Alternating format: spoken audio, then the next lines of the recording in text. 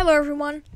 It is RuVR, and me and my cousin decided to make a YouTube channel where we make music called Icon. Link in description below. The songs are going to be pretty epic.